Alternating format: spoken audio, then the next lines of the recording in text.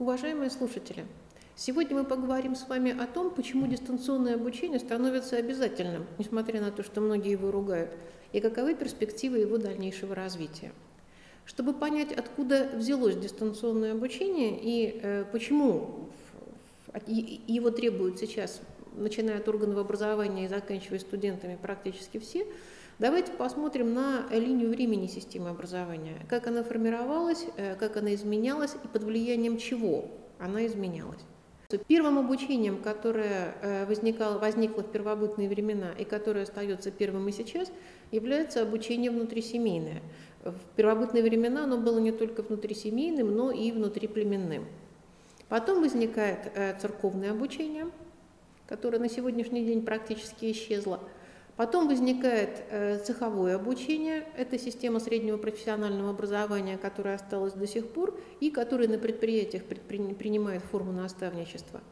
Потом э, формируются университеты, которые э, остались и останутся, но меняются в сторону современного подхода к образованию, и в настоящее время мы имеем дело с образованием в течение всей жизни. Какие же факторы двигают это образование? Какова логика развития этой системы? Система, естественно, э, формируется и изменяется для того, чтобы удовлетворять потребности э, своих участников в обучении. Значит, э, внутрисемейное обучение или внутриплеменное обучение недостаточно квалифицировано. Правильнее сказать, что оно ограничено квалификацией того, кто эти навыки преподает. У него, у этого обучения, малый охват, то есть один преподаватель или там сторожил или опытный э, охотник или там еще кто-то способен обучить только очень небольшое количество учеников, у него низкий темп и э, возникает крайне слабый доступ к информации. То есть э, вот такой специалист, назовем его так, является носителем некоего сакрального знания, и если у него нет желания это знание передавать, то никто его у него, собственно говоря, и не отнимет. Значит, э, церковное обучение, которое приходит на смену, тоже узкоспециализировано, охват у него чуть шире, все равно остается малым, проблема сакрального знания остается, темп низкий, доступ к информации слабый. Собственно говоря, именно по этим недостаткам э, церковное обучение и перестало существовать, поэтому серая стрелочка у нас такая короткая. Цеховое обучение специализировано, охват у него э, небольшой, но уже и немалый, то есть оно уже все-таки достаточно шире, э, и, средний, э, и доступ к информации у него средний. Университеты тоже специализированы, охват у них тоже небольшой, темп, давайте смотреть на вещи трезво, низкий, средний доступ к информации с переходами к хорошему по мере того, как развиваются интернет и современные средства связи. И вот именно интернет подталкивает нас э, к тому, чтобы вести образование в течение всей жизни и при этом на базе широкой специализации получать возможность смены профессии с широким охватом обучающихся, с высоким темпом обучения и с широчайшим доступом к информации. Сакральная информация практически исчезает, и э, я думаю, мы все знаем, что даже если некто сейчас нам рассказывает о неких тайных знаниях, то, порывшись в интернете, э, можно найти э, источник этих знаний или, по крайней мере, э, вплотную к этому источнику приблизиться и проверить достоверность того, что нам преподносится э, как сакральное. Соответственно, именно средства связи являются движущей силой изменений в обучении – и по мере того, как интернет становится все более и более э, общепринятым, по сути дела, на сегодняшний день он заменяет и мобильную связь, дистанционное обучение э, станет превалирующим. Другое дело, что не надо э, дистанционное обучение рассматривать как примитив, вот то, что сейчас преподносится как дистанционные текстовые материалы и э, проверочные тесты, причем одного типа вопроса с множественным выбором. На самом деле возможности дистанционного образования намного-намного шире. Так вот, э, требования к образованию в течение всей жизни э, которые мы уже назвали, это широкая специализация со сменой профессии, с широким охватом высоким темпом и доступом к информации. Поэтому образование должно быстро менять свое содержание, использовать активные методы обучения, ориентироваться на практические навыки и результаты и готовить людей к трудоустройству и к работе. То есть э, вот академическое университетское образование, которое по сути своей восходит к церковному образованию и начетничеству, к великим книгам, э, теряет свое значение и на первое место выходит умение решать задачи и добиваться практических рабочих результатов. Соответственно, меняются и требования и к преподавателю.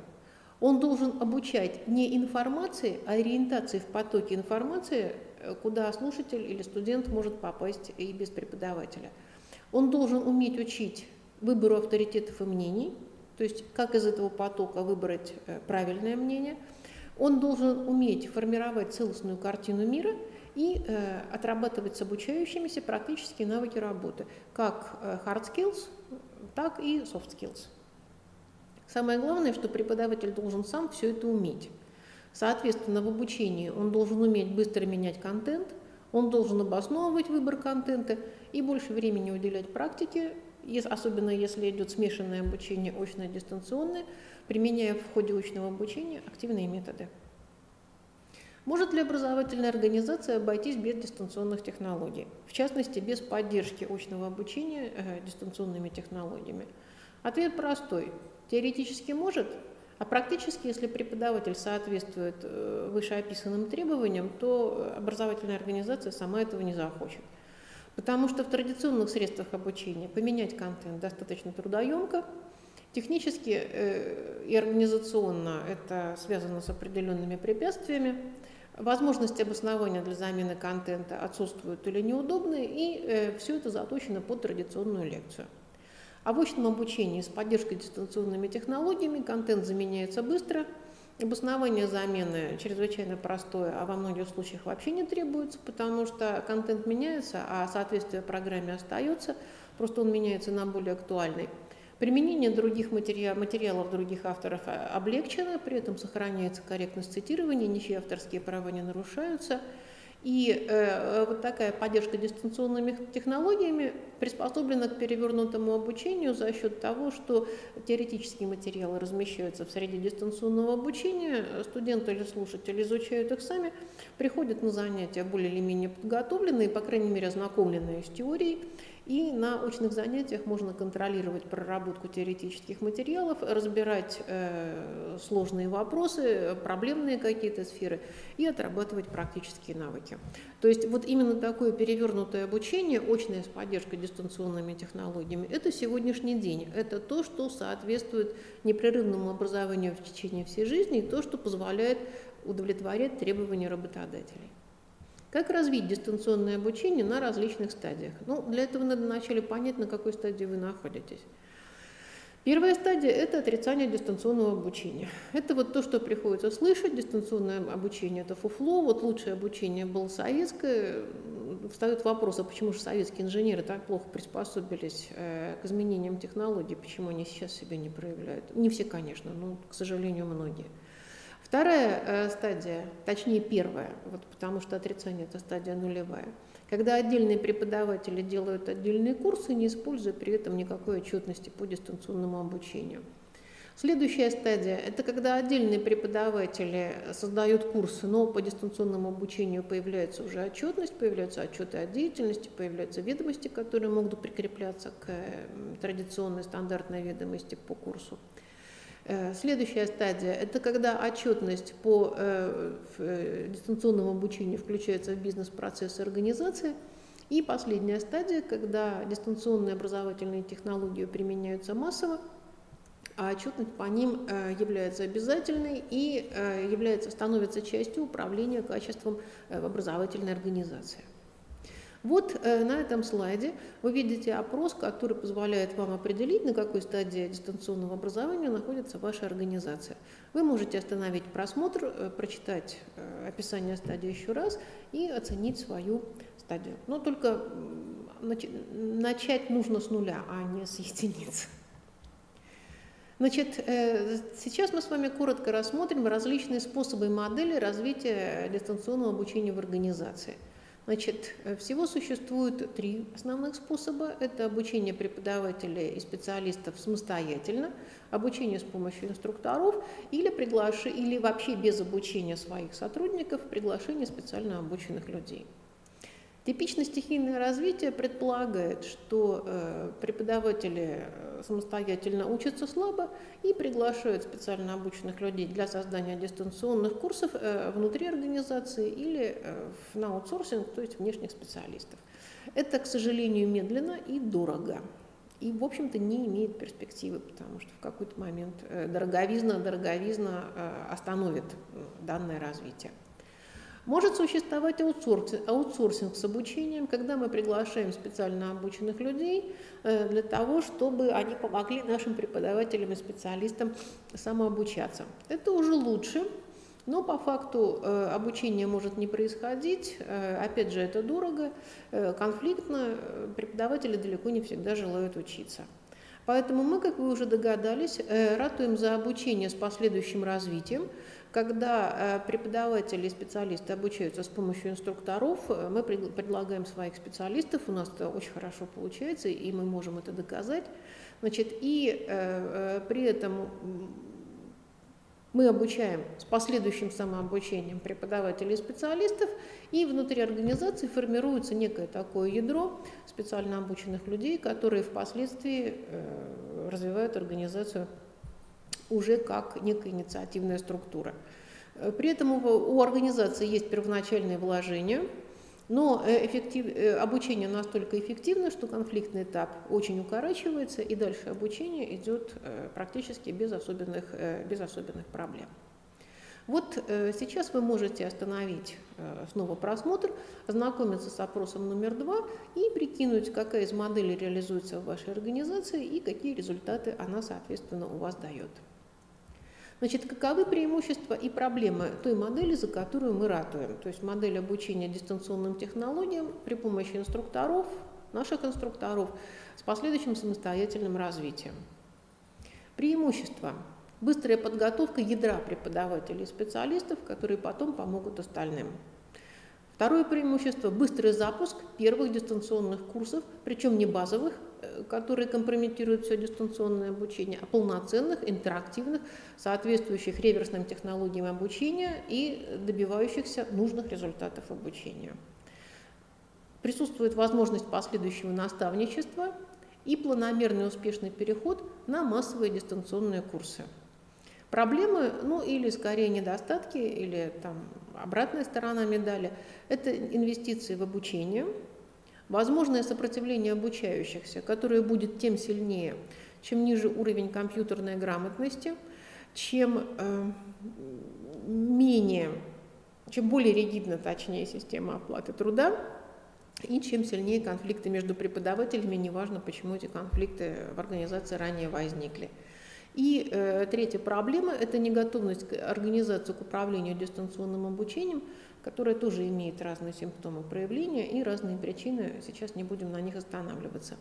Э, все проблемы преодолимы, но мы считали своим долгом э, в данный момент их обозначить. Значит, здесь на этом опросе, в третьем опросе, вы можете оценить уровень IT-компетенции персонала вашей организации, э, который, будучи низким, является основным препятствием к развитию дистанционных технологий. Значит, если уровень крайне низкий и компетентных людей практически нет, или он откровенно недостаточный, когда компетентных людей мало, то, конечно, начинать надо не с дистанционного обучения как такового, а с подтягивания э, компьютерного уровня. Но удобнее всего это делать э, при базовом таком начальном обучении компьютерным технологиям, когда одновременно решаются две задачи. Создается мотивация к приобретению компьютерных навыков, ну ясно, зачем, зачем этому учиться, и параллельно, э, параллельно осваиваются азы. Значит, если же компетентных людей более или менее достаточно, и тем более, если их откровенно достаточно, то тогда обучение сразу идет очень хорошо и очень быстро.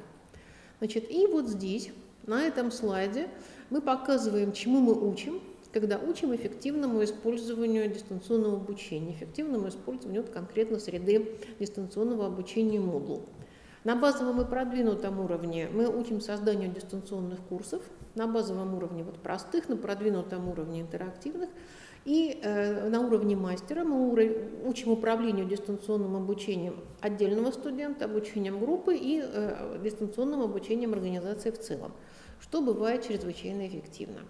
Значит, э, здесь вы видите уровни обучения или уровни мастерства, базовые, продвинутые уровни мастера.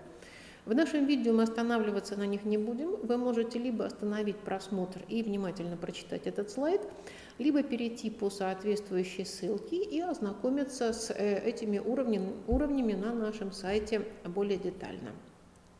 Значит, здесь э, продолжение таблицы – которая э, показывает другие характеристики обучения на различных уровнях, э, то есть описывает организацию обучения, характер договора, указывает э, приблизительную, приблизительную стоимость обучения. Причем надо сказать, что мы охотно проводим обучение на выезде, но в этом случае Стоимость обучения калькулируется в зависимости от того, где вы находитесь, каков размер группы, сколько преподавателей приезжает на очные модули и так далее. Значит, э, на шестом и седьмом уровне, на базовом и продвинутом, э, на выходе вы получаете группу преподавателей с удостоверением повышения квалификации, причем квалификацию мы присваиваем очень честно, то есть нам нет необходимости э, там, золотить пилюлю и кого-то поощрять за квалификацию, которой у него нет, просто потому что всегда есть возможность доучиться. Даже если человек получил шестой уровень, он может, не знаю, в течение пары недель уровень подтянуть до седьмой, и мы без всяких проблем выпишем ему еще одно удостоверение, нам это будет даже приятно. А вот для получения восьмого а, максимального уровня квалификации и диплома профессиональной переподготовки нужно пройти, конечно, полный курс обучения. Вот царских путей в геометрии нет. Э, в дистанционном обучении царских путей тоже, к сожалению или к счастью, нет. Вот. Но результаты обучения, как я уже сказала, у нас очень хорошие.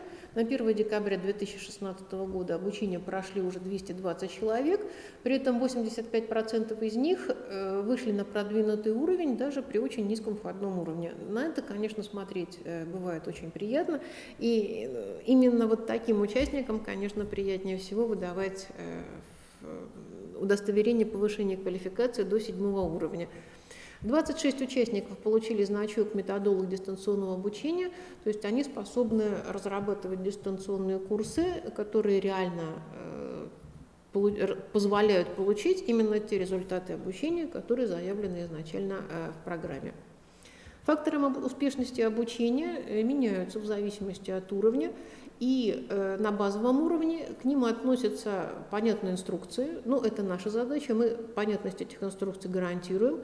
Э, значит, э, вторым фактором является погружение Moodle в качестве обучаемого. Попросту говоря, для того, чтобы создавать курсы самим, надо вначале по этим курсам обучиться. Потому что ситуация, когда э, спрашиваешь у обучающегося, условно говоря, там профессор, говоришь, мы когда-нибудь посетили хоть один вебинар, а он тебе отвечает, слава богу, нет, то, ну, конечно, перспективы печальные. Ну, пусть хотя бы, так сказать, не вебинар, но пусть хотя бы дистанционный курс текстовой почитает. И э, третьим фактором успеха является курирование обучаемого, когда он э, может не один на один оставаться со своими проблемами, а обращаться э, за помощью в любой момент. На продвинутом уровне факторами э, успеха являются те же самые э, понятные инструкции, продуманная методика обучения, э, ну, тоже мы можем ею похвастаться, то есть методика обучения у нас есть. И третий фактор – это обучение строго в группе, не индивидуальное потому что продвинутый интерактивный уровень и использование интерактивных инструментов по определению предполагает вовлечение в обучение других людей и получение от них обратной связи.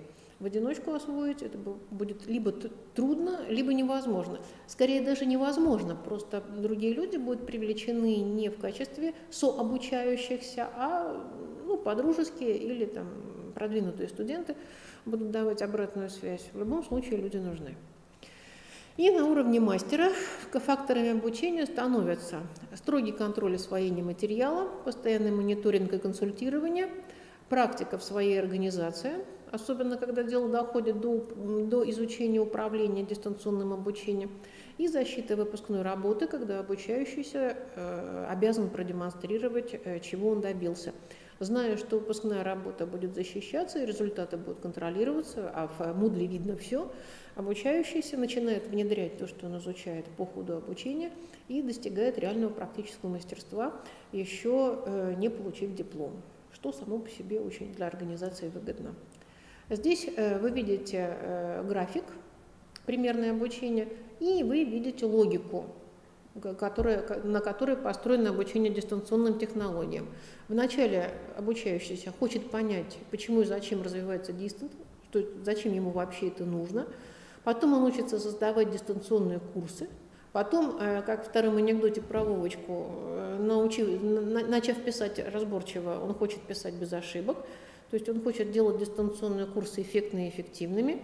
Потом он хочет их делать правильно, чтобы достигать результаты обучения. Потом он хочет этим процессом уже управлять.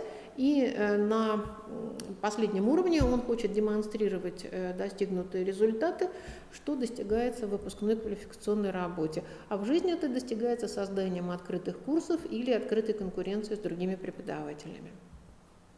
Записаться на обучение, задать вопросы и уточнить детали можно по контактам, размещенным на нашем сайте или э, на нашем портале дистанционного обучения, а также остановив э, это видео и посмотрев э, телефон или электронный, или электронный адрес. На вопросы могу отвечать я, директор Центра дистанционного обучения Академии Пастухова Бреслав Елена Петровна, а также любые сотрудники нашего центра, которые ответят вам по телефону.